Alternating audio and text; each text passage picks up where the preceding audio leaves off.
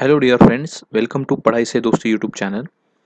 In today's video we are going to discuss about the tradition of historiography and modern historiography.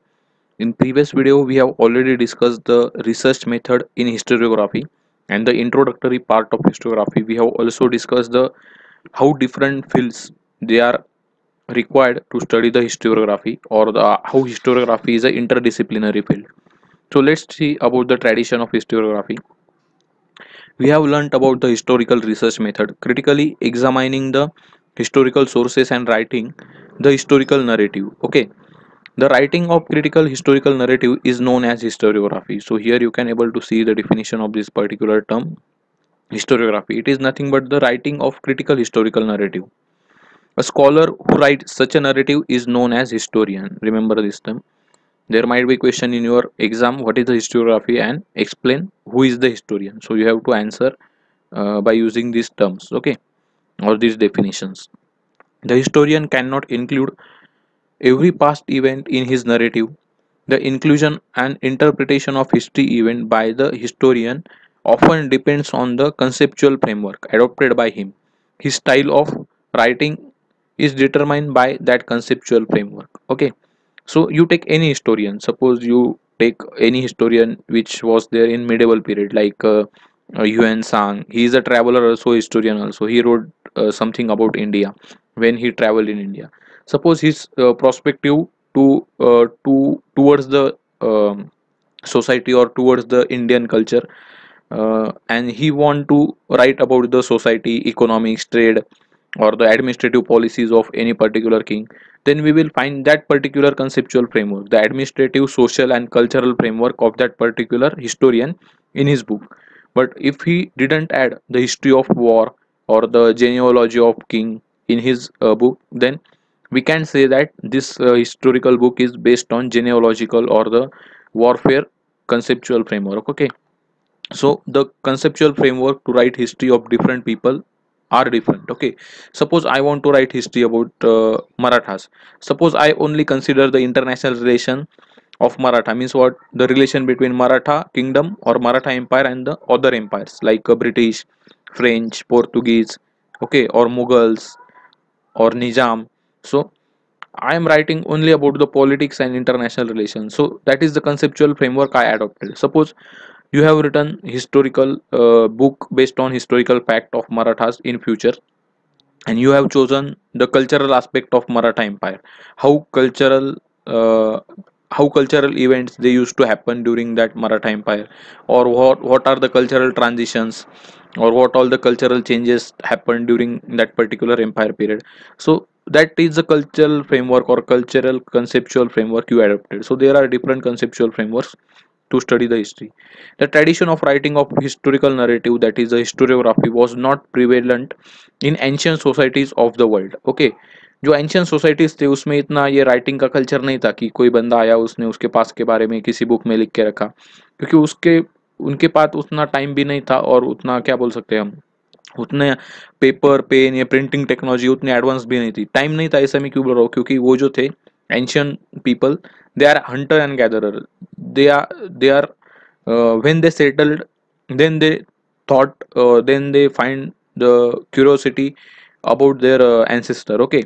And then there is a uh, starting to uh, told or to write something about the history okay?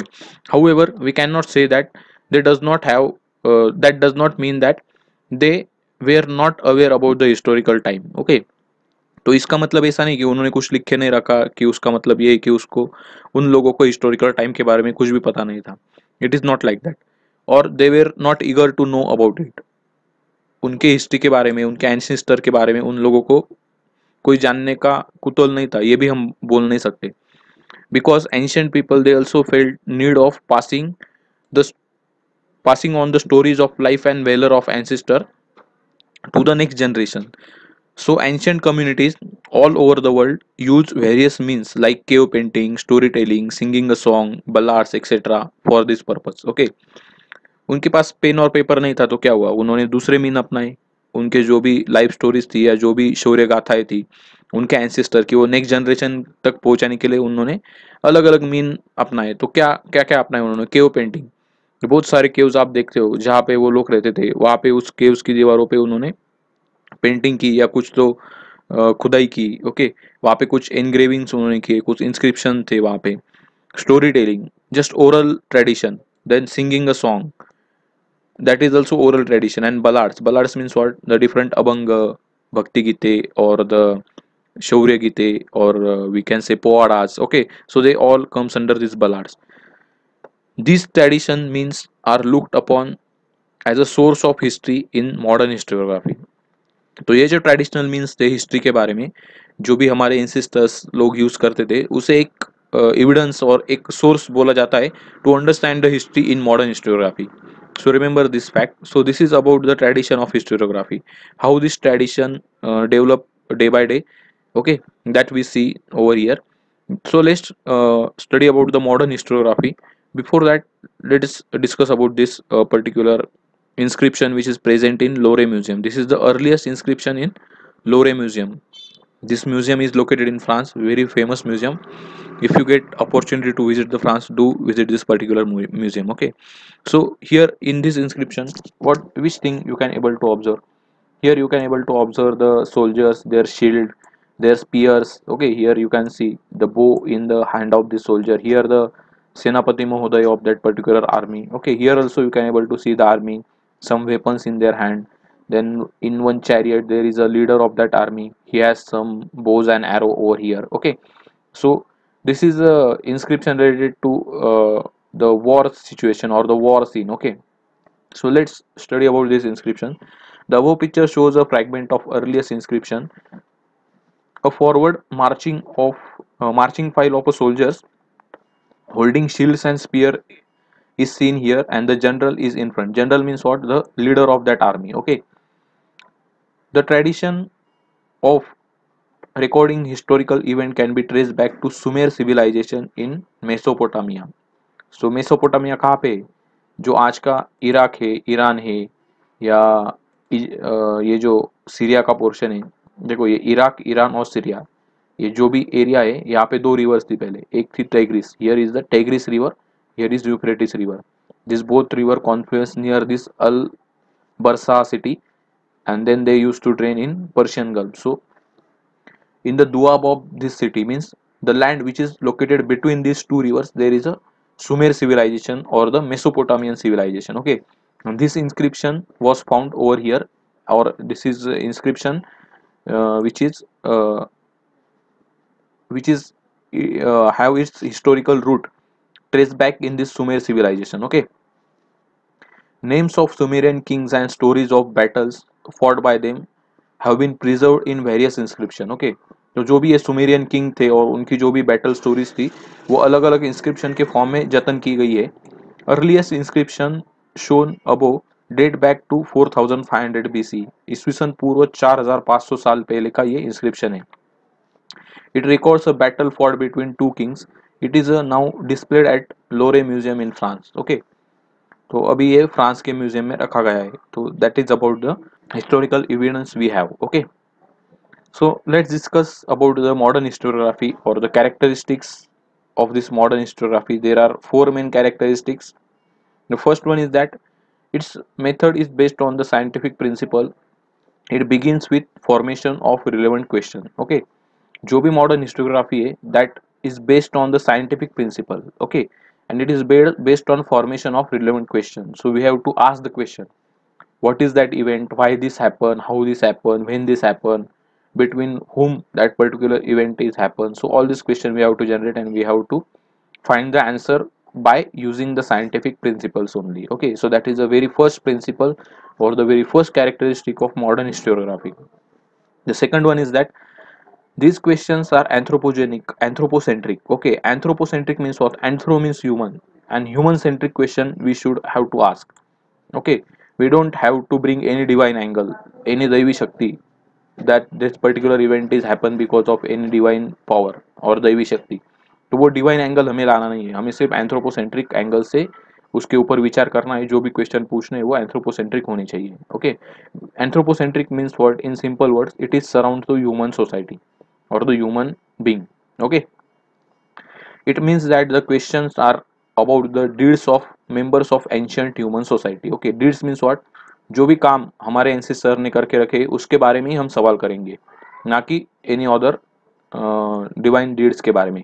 Of particular period history does not suggest any inter relation between divine and human deeds divine means what दैवी शक्ति और जो भी natural power है, उनके बीच में और human की जो भी करतूत है, उसके बीच में कोई इंटर रिलेशन नहीं है ऐसा मॉडर्न हिस्ट्री मानती है so they are relying only the evidences which they found during the excavation okay the third one is that answer to all these things are supported by reliable evidences so this is very important reliable evidences we which we get from the excavation of different uh, historical monuments or uh, different historical sources like letters different old books manuscripts okay So all these are the reliable evidences and history should be divided uh, derived based on these evidences only history present a graph of mankind journey with the help of past human deeds okay so what is history it is nothing but the graph journey हम जैसा graph निकालते हैं ना suppose कोई economic activity पूरे साल की वो कैसी हुई जनवरी से दिसंबर तक